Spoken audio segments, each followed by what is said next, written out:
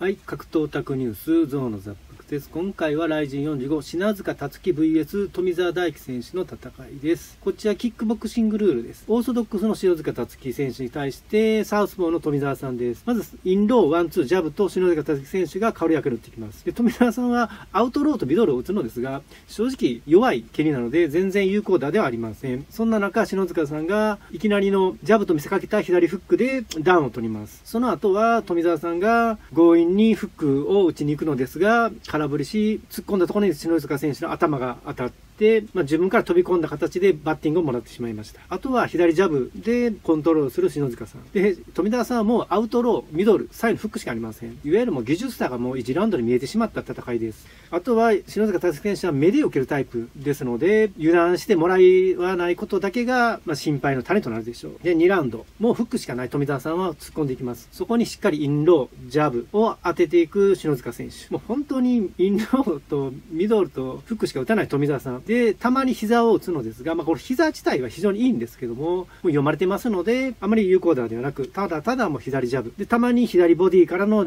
ダブルを打ったりする篠塚選手が簡単にさばいています。でも、この時点で富澤選手の顔は血まみれで、左目などが赤い状態です。そして3ラウンド始まりました。で、ジャブジャブの篠塚選手。で、篠塚選手は多分倒したかったんでしょう。相手にわざと打たせました。左右フックを打たせて、膝蹴りを打たせて、自分でも、まあ少しもらってました。で、狙いすまししたところで、相手の左フックに対しての右ストレートでダウンを取りました。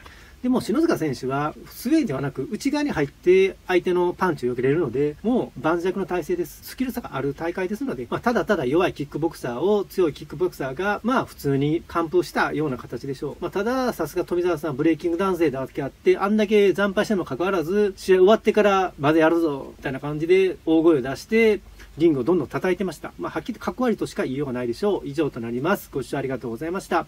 今日の11時からライブ配信ご覧ください。それでは、さよなら、さよなら、さよなら。